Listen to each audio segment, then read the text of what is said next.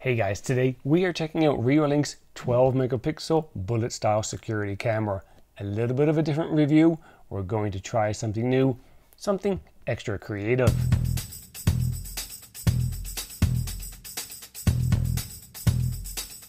So the camera that we're looking at today is model number RLC 1212A and it was not provided to me by Reolink.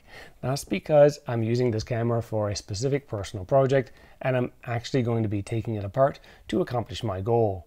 This is outside the normal usage or guidelines and I run the risk of damaging the camera.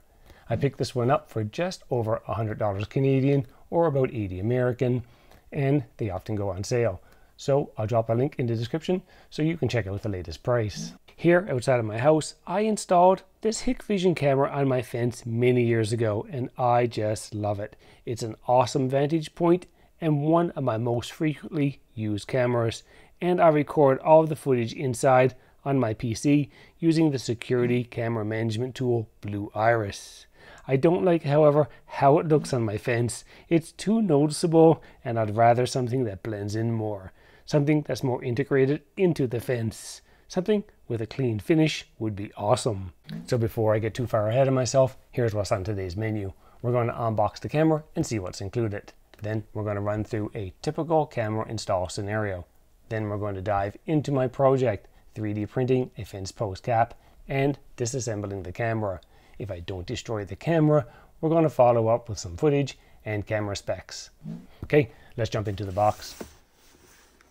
Okay, so rushing through this, we have some paperwork, a reminder to update your NVR if you're using one, a drill template, oh cool, a newly updated window sticker, and a user guide. Next we have a short ethernet cable for setting up and testing the camera inside before installing it in its permanent location. This is the weather sealing coupler, which we'll get into shortly. Then we have this foam sticker which applies to the inside of the mount to provide a tight seal to the mounting surface to keep out moisture and bugs. Next we have a bag of screws and anchors. I'll be using my own in my example. Lastly, of course, we have the camera. Metal shell, nice solid build. This feels like a high quality product.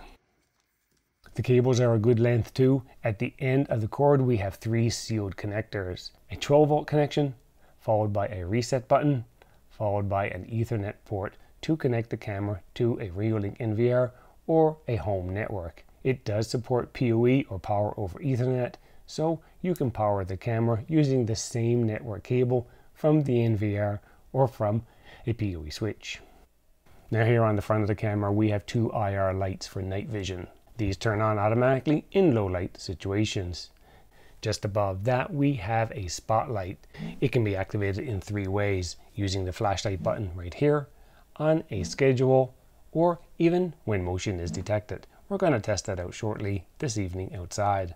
On the back of the camera, we have a micro SD card slot for cards up to 256 gigs, which holds about 72 hours of continuous footage or footage of motion being detected. This means that the camera doesn't even need an NVR. It works as a standalone device with just a camera and a micro SD card. And lastly, we have the mic, which is located right here, and the speaker here. We'll test these out a little later. Okay, so let's jump in to see what a typical install would look like. First off, let's install that foam piece behind the mount. Now we're going to feed the wires through the grommet Plug in the camera and tighten everything up to complete the seal. In the first example here, we have a mounting surface with a hole to run the camera's wires. This could be an eave, a junction box, or a hole in the wall. Once everything is lined up, add the three screws, point the camera in the desired direction, and tighten the mount. Now if there is no hole for the wires, the cables can just exit through a slot right here on the bottom and then follow the same process. Fasten the screws, point the camera in the right direction, and tighten the mount. Now for me, I'm not going to be using the mount. I actually designed and 3D printed this vinyl fence post cap, and I'm pretty excited about it. This is the first version with more updates to come. I want the camera to fit inside of this tube hole here on the front. The problem is the camera is a little bit too long with the mount attached And even when I break down the mount, this silver part right here attached is in the way. Now this piece actually has two functions. It's a ball joint so the camera can pivot. But secondly and more importantly, it acts as a weather seal on the inside where the wire inserts into the camera. There's a little rubber ring that goes around the wire that gets sealed when that silver piece is tightened up to the camera. So if I take that out and put the camera into the mount, it fits perfectly, but I'm missing that wire seal. If only I could replace that with something similar. Maybe I can 3D print something that will fit. Oh yeah, here's a better look at that seal. So let's open up the camera and unplug the wires. I can now feed that little plug out through the hole on the back of the camera. Let's remove the seal and the ball joint. I measured the size of this ball joint and it's a 12 millimeter fastener. And after a quick 3D print, I have a short piece that will slide on over the wires. So next, let's replace that rubber seal, feed the wires back in through the camera and plug in the clip. And now we can put the camera back together. Feed in the wire seal and tighten the 3D hollowed screw and secure it to create that weatherproof seal. Now when I install the camera into the mount, it fits great and I actually have a little bit of room to spare. Wow, cool, yeah, this thing looks amazing. I couldn't be happier with how this project is turning out. Okay, so let's do a couple of quick tests to get this set up before heading outside. Now you could plug the camera directly into an NVR or like in my situation, I have the Reolink NVR on my network and it's automatically set up to pick up any new cameras that have been added. So as you can see here in the Reolink app, the NVR just added it. Now let's reset here and turn off the NVR feature to stop auto adding newly found cameras. This is also the process if you don't have an NVR. I'll plug in the camera into the network switch. The Reolink app will automatically pick it up as well. You just need to initialize it. So we're going to go through that process right here uh, activate it by giving it a username and password and then give it a name and that is it. Okay so we have the camera set up and we have about a half a second of delay here. Not too bad. Okay I'm happy with the results. Let's go outside and get this set up. So here's the location where I want to install the camera on this fence post right here facing my house I already have an underground ethernet connection out here which I installed in a previous video. Let's pop off the old cap and plug in the camera. Now all the wires and old mounting gear fits perfectly inside of the post. And here are a couple more shots of the setup. This looks awesome.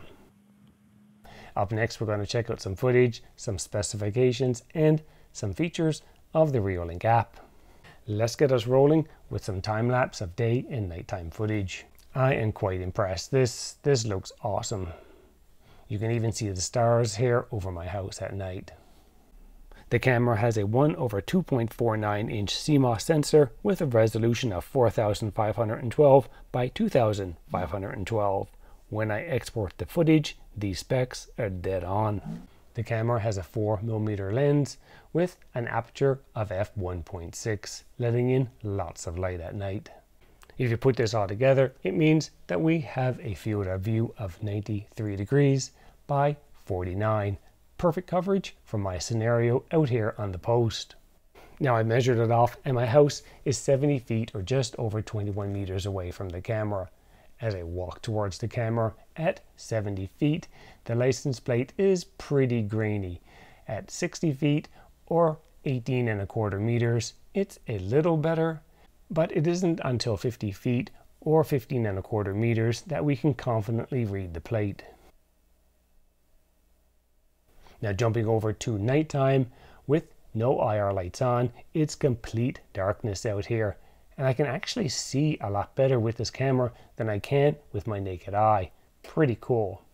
And in the complete darkness, it isn't until 10 feet or about 3 meters away that we can read the plate. And that's actually better than I expected, given how dark it is. So let's pop those IR lights on, and as expected, the license plate is reflecting back into the camera. Now facial details start to become recognizable at about 30 feet or just over 8 meters away. Now we're going to check out the camera's spotlight. Now the detail is good, but facial features don't become recognizable until about 20 feet or just over 6 meters away. Oh yeah, and check out how bright this spotlight is. Perfect for making shadow puppets. Okay, so let's do some more distance testing. Let's see when the camera starts to pick up my motion and turns on that spotlight at night. And also, I'll get a notification. Yeah, that's uh, 60 feet. Okay, we're at 50 feet. There we are. There's the 50 foot mark right there. Okay, next we're going to do the same test by day. Okay, so here we are at 70 feet. Oh, it picks me up right away. Up next, we're going to talk about audio. I obviously won't be using this camera for two-way communication out here in the fence post, but I'm going to remove the cap here so that the mic and speaker are exposed. Okay, this is what the speaker sounds like on the camera. And here we have an audio test of the camera's microphone. Alright guys, the first iteration of my 3D printed fence post mount is complete and I already have some ideas on some future updates. After some quick disassembly and reassembly, I didn't destroy the camera and I was able to make it fit perfectly inside of the new mount. As for the image quality and app features, I couldn't be happier. Links are in the description, so do check those out for the latest prices. I hope that you found this information helpful. If so, leave a like and hit that subscribe button so you don't miss out on any future home tech DIY projects you can do yourself. Thanks for watching.